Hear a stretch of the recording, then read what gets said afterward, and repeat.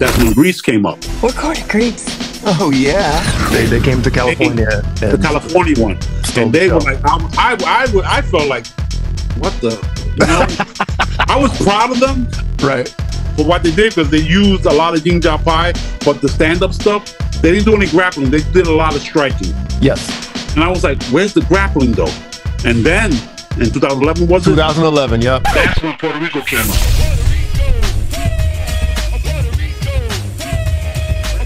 I'll, I'll let, I'll let you take over from here.